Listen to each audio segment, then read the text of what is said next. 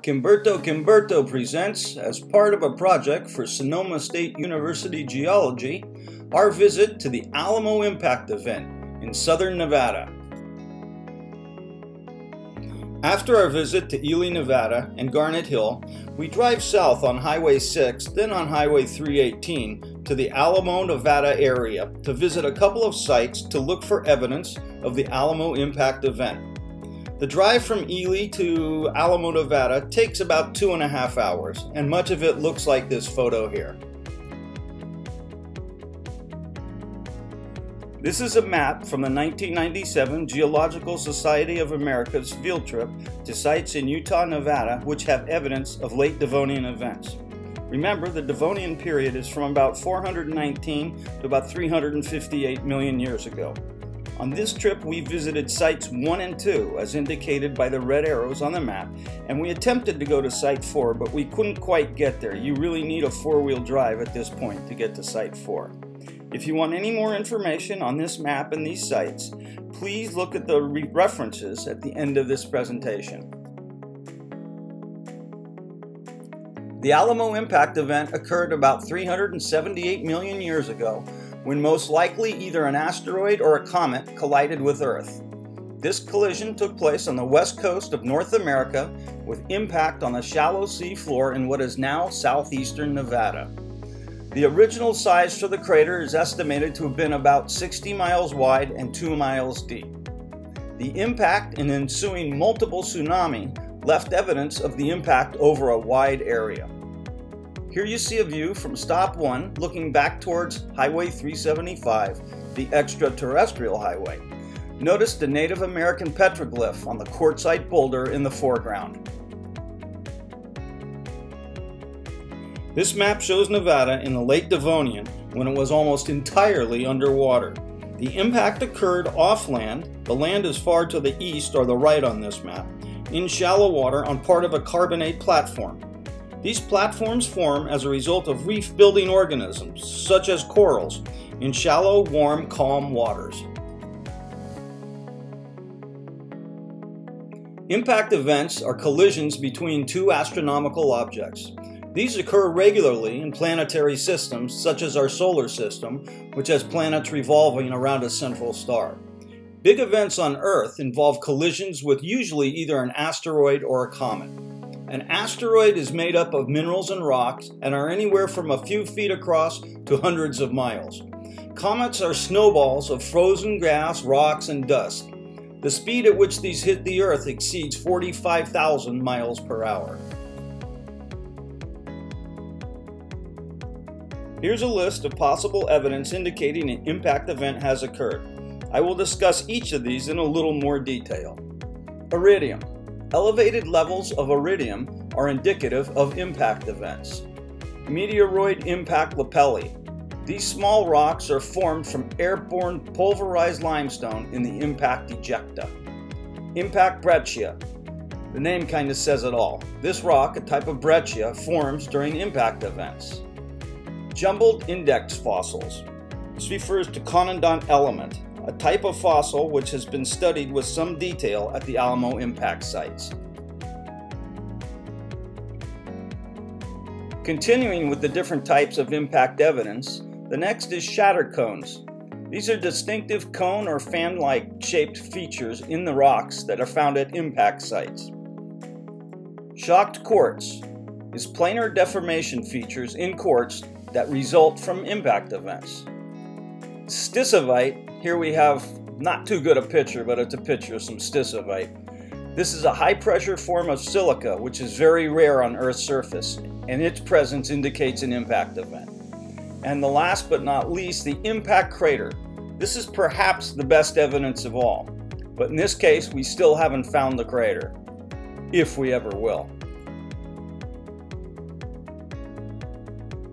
Iridium is the second densest naturally occurring metal after osmium.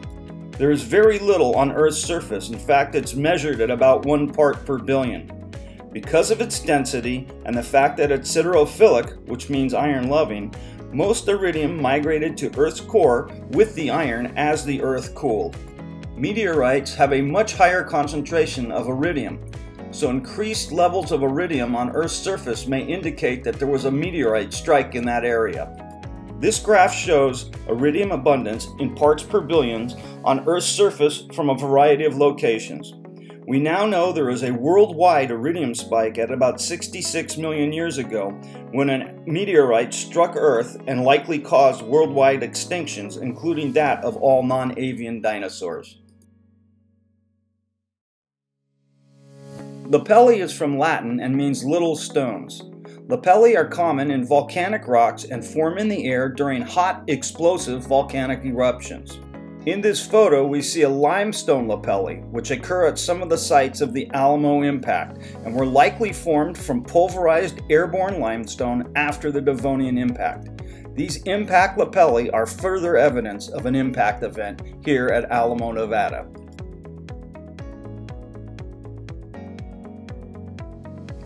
Impact breccia is a type of rock created by impact events. And breccia is a rock consisting of angular, poorly sorted fragments which are cemented together. By angular, we mean the fragments in the rock are not rounded, and by poorly sorted, we mean they're of different sizes. And breccia generally refers to a type of sedimentary rock formed by sedimentary processes.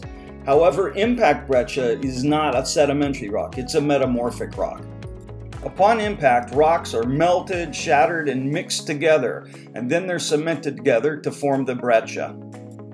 Here's three examples of very different looking breccia near the impact event site at Hancock Pass.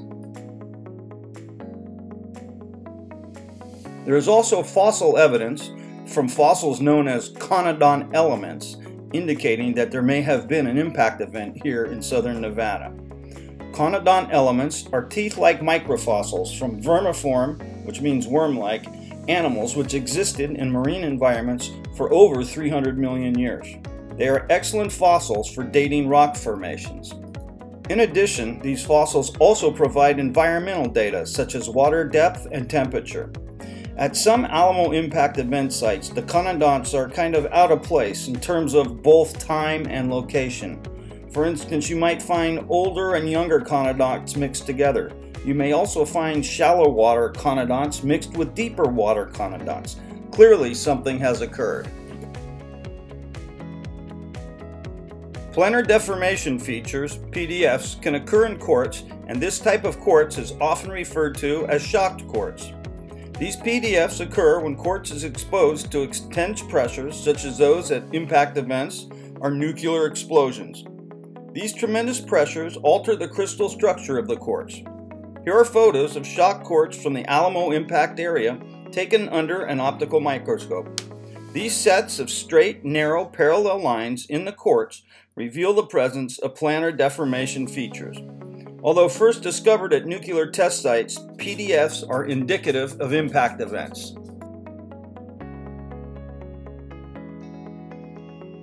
Stishovite is a polymorph of silica, as is quartz. Remember, polymorphs are minerals which have the same chemical composition but different crystal structures. Stishovite is very rare on Earth's surface. This pressure temperature diagram shows that stishovite forms at high pressures, those above about 7 gigapascals, as indicated on the vertical axis, whereas it's at relatively low temperatures, as you can see on the horizontal axis. Compare the crystal structure of stishovite with that of quartz. It is more densely packed. This is reflected in the fact that stishovite is much denser than quartz, 4.3 versus 2.65 grams per cubic centimeter. Stishovite is often associated with coesite, the middle polymorph in this chart. It is uncertain if either of these two have been associated with the Alamo impact event. Shatter cones are distinctive cone or fan-shaped features in rocks. They may resemble a horsetail. They're formed as a result of high-pressure, high-velocity shock waves. They're only found in two places, underground nuclear test sites and impact sites like the Alamo impact site. Shatter cone-like structures have been found at the Alamo impact sites. You can see this photo here with the horsetail look-like appearance. This is a shatter cone. Impact craters, when they exist, provide perhaps the best evidence for an impact event. These are formed by hypervelocity impacts, remember 45,000 miles per hour. However, the surface of the Earth is dynamic, and craters can be deformed, buried, or eroded over time because of active geologic processes. On Earth, these craters are mostly found in stable inland regions of continents, like the Barringer crater here in this photo. As yet, no crater has been found for the Alamo impact event. The impact was likely underwater and in a very tectonically active area. The crater itself may have been dismembered, buried, or otherwise rendered unrecognizable in the last 380 million years. Our first stop to look at the Alamo Breccia is uh, west of Hancock Summit. From the intersection of Highway 318 and Highway 375 at Crystal Springs, Nevada, drive southwest on Highway 375, the extraterrestrial highway, for about 13.5 miles. At that point, you'll see on the left side of the highway a guardrail which ends. You're going to turn on a road right at the end of the guardrail and park in the parking area there. The exposure is towards the south, as you'll see in the next photo. Here's the exposure of Alamo Breccia from the parking area off Highway 375. The geologist here is shown for scale. Recalling the earlier photo of the Native American petroglyph, well that would be just off to the left in this photo. The references I provided earlier give a great deal of information about the site and it's worth your while to look at those before you go. The Alamo Breccia covers about 4,000 square miles across 11 mountain ranges and is centered in southeast Nevada. It has an average thickness of 70 meters. There are many different identifiable types of breccia created by this Devonian impact event. Here are two very different looking samples we found at the Hancock Summit location. Everywhere you look is breccia. For more information on Alamo Breccia, please see the references at the end of this segment. Here's something kind of interesting that we found in several locations at this site. And what these are, uh, these are holes from paleomagnetic coring. Rock cores are drilled out and removed and taken back to the lab for paleomagnetic study. Uh, paleo paleomagnetism is the study of the record of Earth's magnetic field that's left in the rocks and sediments.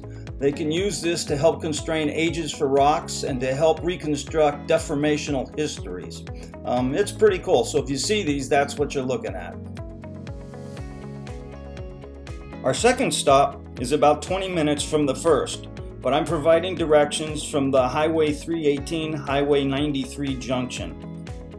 From that junction, drive northeast on Highway 93 for about 1.2 miles, where you turn left onto a dirt road. I don't believe it's marked there. On that road, just off the highway, you come to a borrow pit. Drive about halfway around the borrow pit and continue north until the road ends. Stop here and continue walking a short way, uh, probably less than 10 minutes, to the outcrop. See the next photo that's coming up. If you have more time, you can hike further up the canyon, about a mile or so, for a more complete exposure. This is the view after I've parked the car and we're heading up the road towards the outcrop straight ahead.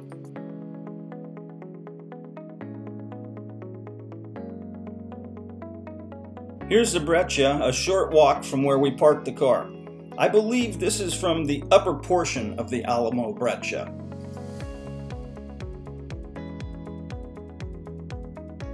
If you have an extra hour or so, there's a collection of Native American petroglyphs at the Ash Springs Art Rock site, which is about 15 minutes from our second stop. From the extraterrestrial highway sign at the junction of Highway 375, 318, and 93, you drive south on Highway 93 headed for Alamo for about 5.5 miles. Just before the town of Ash Springs, you take a left on a dirt road and you'll drive a short ways and you'll have to open and then close a gate to proceed to the area. This is a site with about 60 petroglyphs.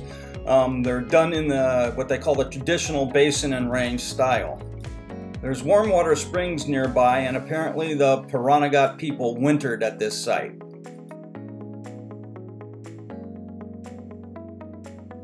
Here are a couple of examples from the Ash Springs Art Rock site.